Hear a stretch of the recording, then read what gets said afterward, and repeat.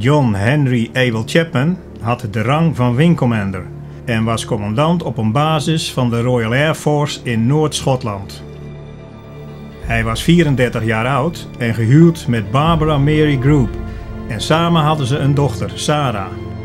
Op grond van zijn functie was hij geen actief vliegen meer, maar op deze donderdag 26 maart 1942 wilde hij één keer een missie meemaken en koos hij voor deze vlucht. De bemanning van de N3709 had er net 30 missies op zitten en dus recht op één week vrij. Maar deze missie wilden ze nog wel doen voor ze met verlof gingen. In de vroege avond stapte de bemanning in de Short Sterling en nam Chapman de plaats in van Wing Commander Graham in. Met in totaal 115 toestellen stegen ze rond 8 uur s avonds op voor een missie op Essen in Duitsland.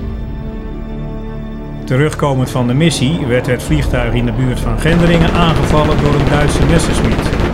En na een hevig luchtgevecht stortte het bij buurtschap Ravelde neer.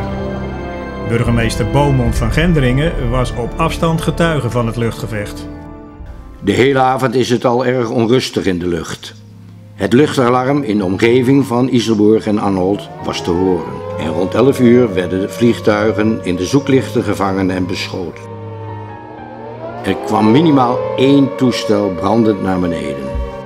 Rond kwart over elf belt veldwachter Geurts uit Ulft mij op dat in de buurt van steenfabriek Den Daas een vliegtuig is neergestort. Ik heb de marechaussee uit Ulft en Terborg naar de plek gedirigeerd om ter plekke polshoogte te nemen en mij te informeren. De veldwachter Kierhut uit Etten vertelde mij dat hoewel het toestel als verloren beschouwd kon worden, er maar geen einde kwam aan het vuurgevecht. De staatsschutter bleef tot het laatste toe vuren. Een brandend gedeelte van het neergestorte vliegtuig was op de boerderij van Leijzen terechtgekomen. En het vuur greep snel om zich heen. De plaatselijke brandweer van Etten en Ulft waren na twee uur de brandmeester. Het achterste gedeelte van de boerderij was totaal uitgebrand. Maar het woongedeelte was gedeeltelijk gespaard gebleven. Duitse militairen hadden samen met de Nederlandse politie het terrein afgezet en de nodige hulp verleend en na het blussen van het vliegtuig kon begonnen worden met het bergen van de slachtoffers. Tussen de verspreide restanten van het toestel werd een lichaam ontdekt en bij de romp van het vliegtuig nog eens twee. Later die morgen werden opnieuw vier lichamen geborgen, waarvan één op tenminste 200 meter van het wrak. In totaal hebben zeven jonge mannen het leven gelaten.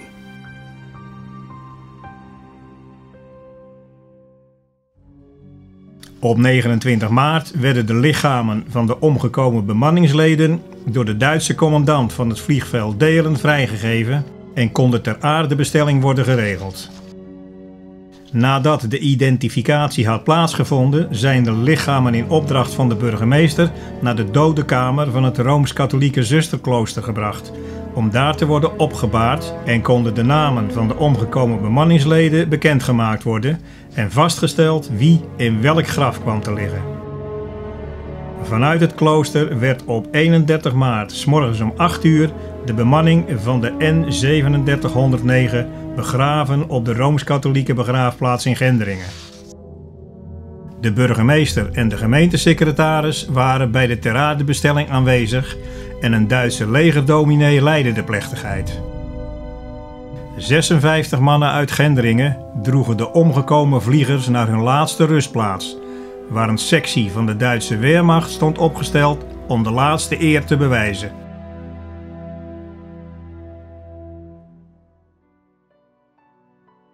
Op 17 mei 1943 schreef mevrouw Chapman in een brief aan de gemeente Gendringen: Dear Sir, As the widow of John Chapman, the wing commander whose aeroplane crashed in 1942, I have been left with many questions.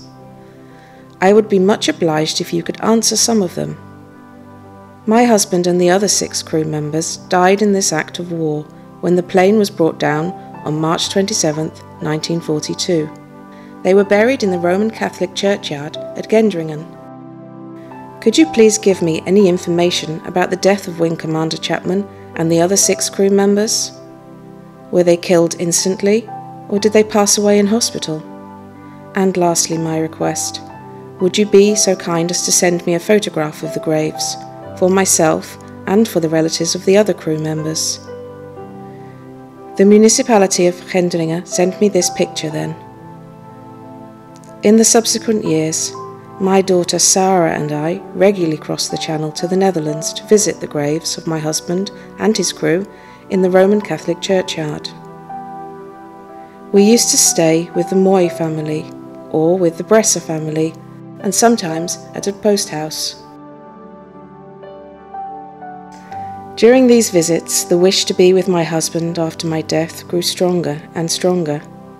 I wanted to be buried in the same grave, but this was not allowed by the Commonwealth War Graves Commission.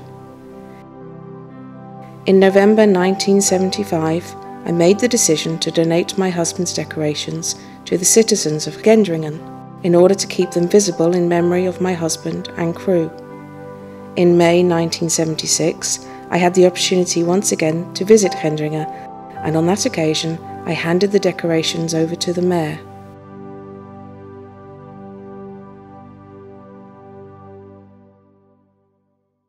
Een deel van de door mevrouw Chapman overgedragen onderscheidingen is opgeslagen in het ECAL, het erfgoedcentrum Achterhoek-Liemers te Doetinchem. Een ander deel is verwerkt in een gedenkteken aan de Dorpstraat in Etten, samen met andere items die betrekking hebben op de bemanning van het gecreste vliegtuig. In 2005 werd het monument onthuld in het bijzijn van de dochter van Wingcommander Chapman, Sarah, en zijn kleinzoon Mark. Jaarlijks wordt op 31 maart bij het monument een herdenkingsplechtigheid gehouden. In 2017 werd aan de Tappenweg een monument onthuld ter nagedachtenis aan de omgekomen bemanning in het bijzijn van een aantal veteranen.